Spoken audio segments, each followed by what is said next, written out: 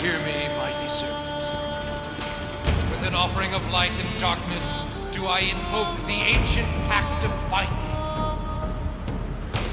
Once more, the wicked stand before us, threatening the sacred communion between your realm and mine.